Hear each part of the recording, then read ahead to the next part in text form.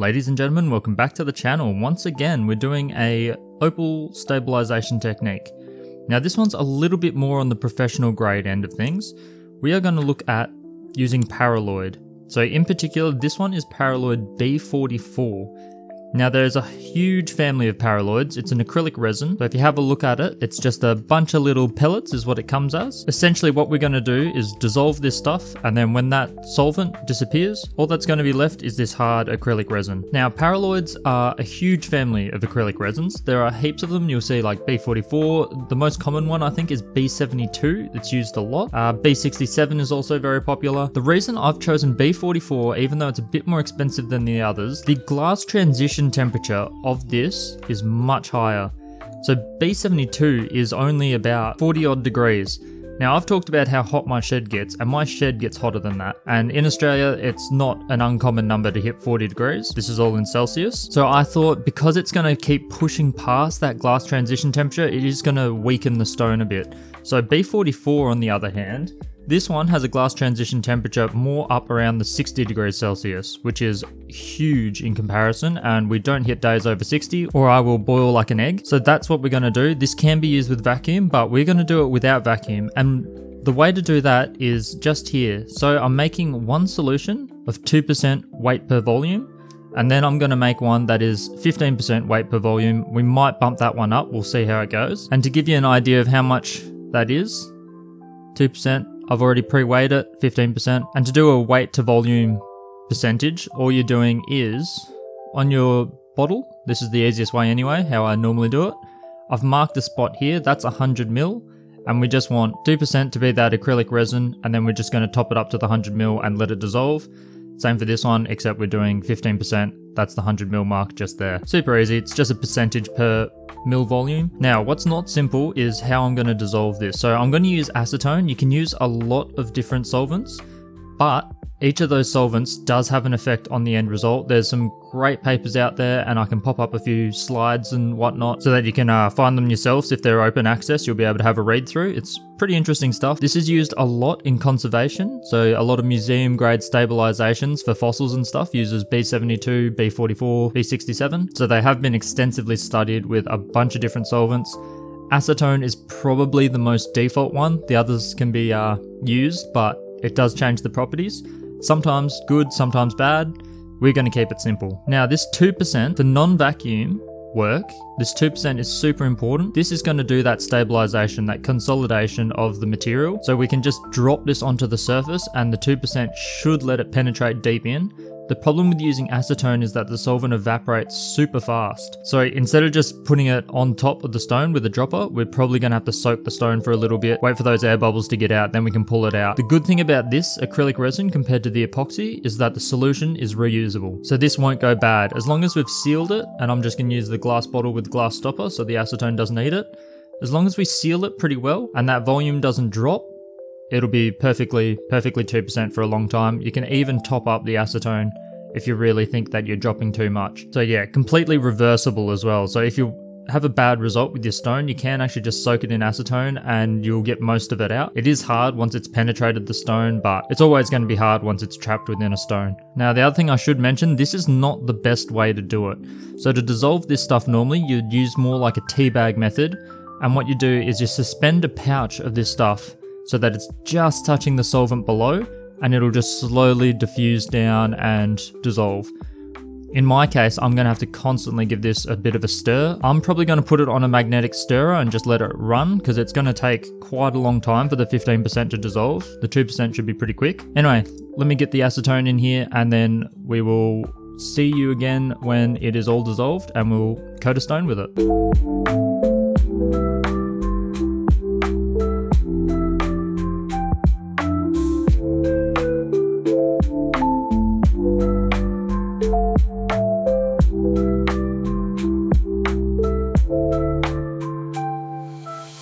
Okay, so it's soaked in the solution for a little while and then I've taken it out and I've dried it just on a piece of foil because it won't stick to the foil. If it ever does stick to whatever you're working with, just give it a, a couple drops of acetone to get underneath it or something and it'll lift straight off. It's it's not going to glue on. All of this is reversible, so given enough time and enough acetone, you can actually undo the entire process.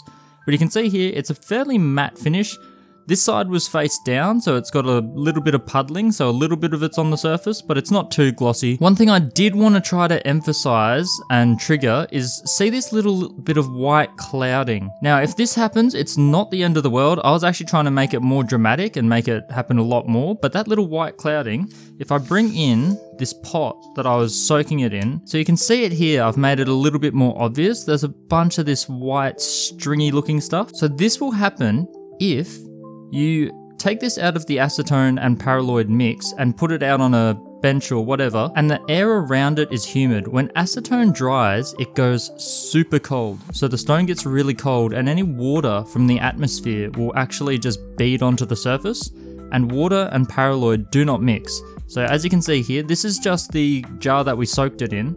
To clean the jars at the end, all you do is just retrieve any that you want to keep and then just a little bit of residue that's on the walls, instead of letting acetone dry up and it deposit on the walls, dump a bunch of water on it. And that water will actually make it so that the paraloid just sticks to itself and you'll just be able to scoop it all out as you can see here. So it'll come out as this little fine film.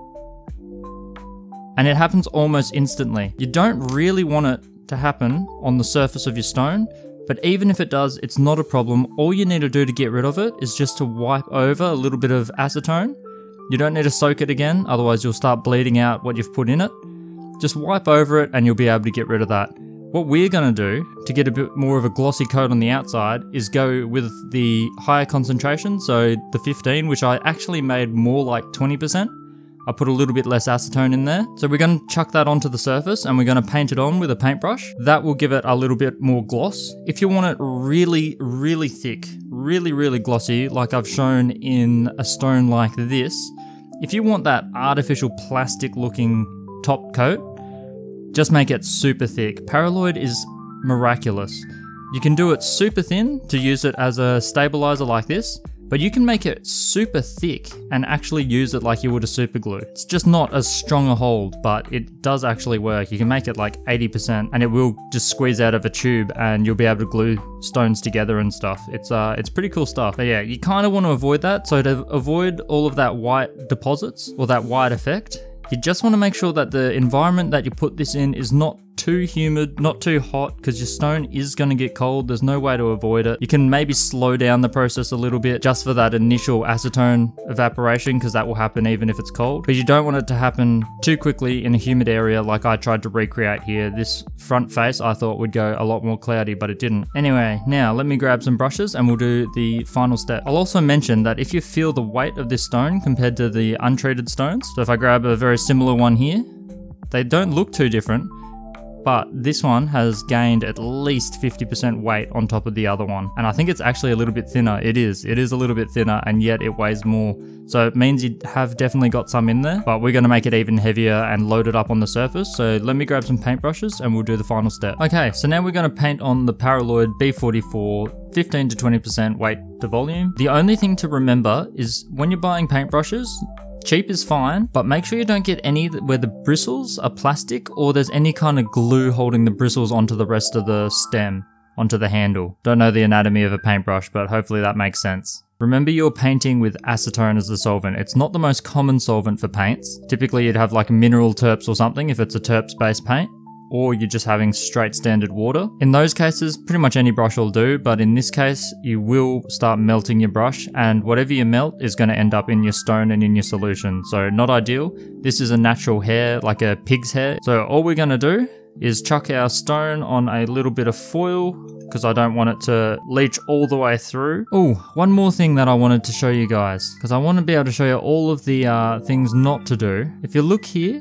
can you see all of those little white bubbles? They are exactly what you think. They are bubbles. You can see some of them are escaping towards the surface. But because the acetone evaporates so fast, if you create bubbles, you're going to end up trapping bubbles. So when you've got your brush, I've actually packed mine away, but let's pretend this is the brush. Don't go dabbing the bristles onto the stone. You'll just create all of these little air pockets. And as you can see, they will lock in. Some will come up to the surface, but most will just lock in. I've also just realized there's a bristle hair stuck in the in the coating there. And you can also see if I just give you the glare across the surface, you can actually get it quite thick. But yeah, just avoid all of these bubbles. Again, it's definitely reversible, so don't panic too much. At this point, all that's needed to fix that up is just to hit it with just some pure acetone and just to use more of a brush like sweeping motion. You don't want to go and jab it, otherwise you will create bubbles and those bubbles will not get out. You've got no time for the bubbles to escape. You can't flash a torch over this like an epoxy resin.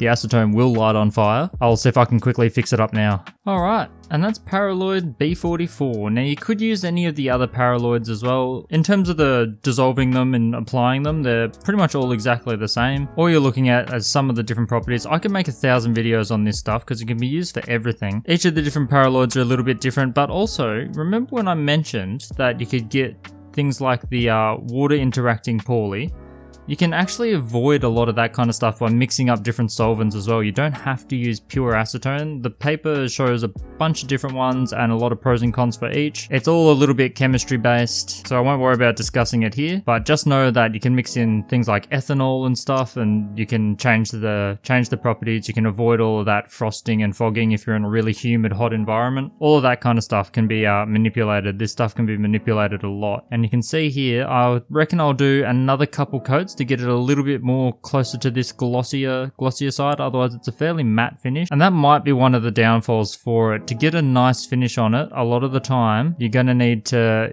play with your concentrations a bit. Each of the stones, this one's super porous. So I reckon I need to go closer to 30% weight per volume to be able to get a nice, shiny, even coat on it because this one still, even though it's stabilized internally, the pores were still fairly open, because it was such a high percentage of acetone, you're going to end up still keeping a lot of the porosity of it.